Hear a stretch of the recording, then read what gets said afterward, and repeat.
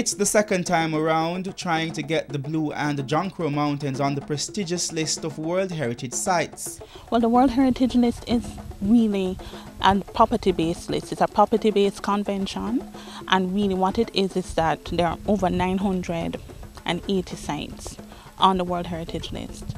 If Jamaica gets on the list, there are only, as it, as it stands, 29 mixed sites within the whole 980. And really, there is a, a significant amount of prestige associated with being on the World Heritage List. There's a big niche for tourism as well. There is a significant benefit for the community as well because they will also be impacted heavily by the amount of exposure the site brings. The area selected for Jamaica's historic bid spans three parishes. What we're looking at here is the entire nominated property for the Blue and Crow Mountains uh, property that we have submitted for the for the nomination to UNESCO. And what we have here on the inside of the blue line is actually the nominated property spanning um, St. Thomas, Portland, and a small part of St. Andrew. The entire property, however, from the, the black line in the lighter green area, that is the buffer zone for the, the property. And it is actually the Blue and John Mountains National Park. The Jamaica National Heritage Trust has redefined the boundaries in a move to protect the sections of the Blue and the Crow Mountains which are being submitted to UNESCO for consideration. What the Jamaica National Heritage Trust has done in uh, trying to protect the entire site is that we have closed up the area that would have been uh, left out before, that would have been left out in the boundaries of the Blue and John Mountains National Park. And we have made the entire area, uh, named the entire area protected national heritage. So the site is actually protected under three pieces of legislation the NRC Act, the Forestry Act, and the Jamaica National Heritage Trust Act. Instead of putting forward the entire Blue and John Crow Mountains for consideration, the boundaries for this bid were influenced by the area's cultural history and biodiversity.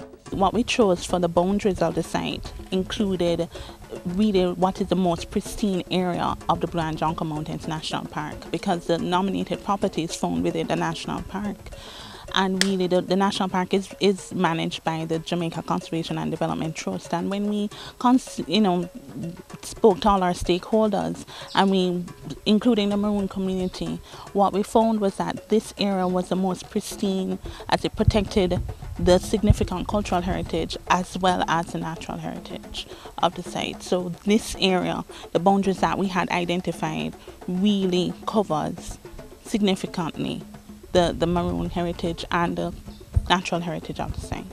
The area is home to the Moore Town Maroons, who are direct descendants of national heroine Nanny. We are walking down the step now. We are going towards the place where Granny Nanny was buried. In this very same area is where she was buried. There's another tomb right there, and there are several tombs all over the place. Anywhere the stones are, there's, that is where the tombs are. And Granny Nanny was buried here. There are several other tombs all around it because this is Bump Grave, the cemetery. And this is one of the oldest cemetery in the community. The history of the Maroons and the tales of Nanny's fearlessness in battle is a major plank on which Jamaica's submission is built. And Bump Grave is actually the burial site of Granny Nanny and other Maroon warriors who were living here in the very early part. So it, it, it predates the cemetery that is owned by the Anglican Church.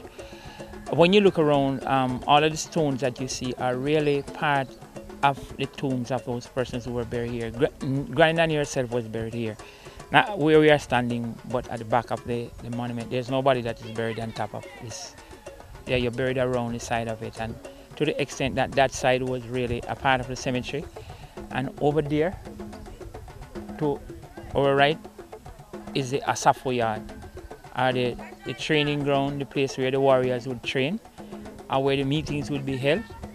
So, and meetings in a Maroon community back then, community meetings were, were always held close to the cemetery in the earshot of the ancestors that would have passed on.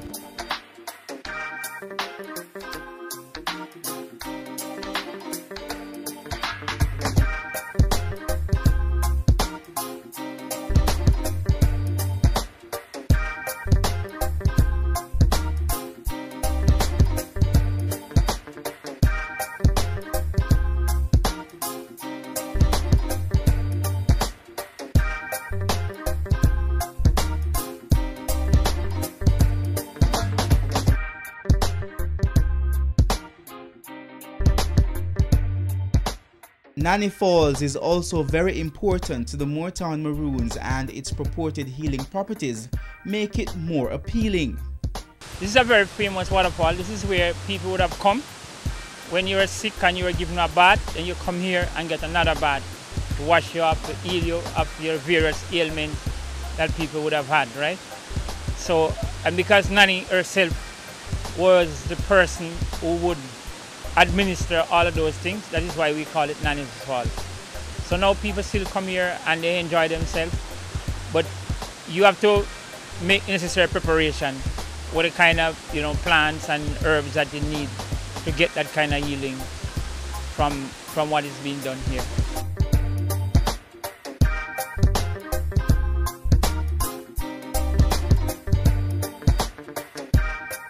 The St. Paul Anglican Church is among the oldest in Jamaica and is one of the first churches in which the Maroons worshipped. History and tradition are strong in Moore Town and the Maroons expect to benefit tremendously if Jamaica is successful in its bid to have the Blue and John Crow Mountains named among the World Heritage Sites. We think that going forward with the Maroon as a team, as one of the major aspects in this nomination, then we have a good chance of getting this um, recognition from UNESCO. Bearing in mind that in the past, the, the music of the Moore Town Maroon was nominated as an oral masterpiece by the United Nations as well. So it's just a matter of adding something more to the list that will help to further enhance the area because by so doing, when we get that kind of recognition, more people will be coming into the area. More people coming into the area as visitors, it means employment for more people and it means empowering people to protect the environment even more.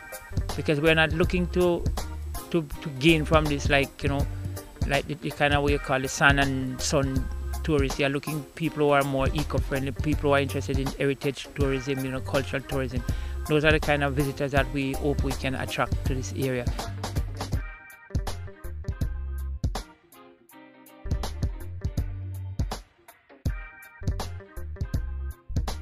The site is really one that is of mixed and mixed heritage, natural and cultural heritage.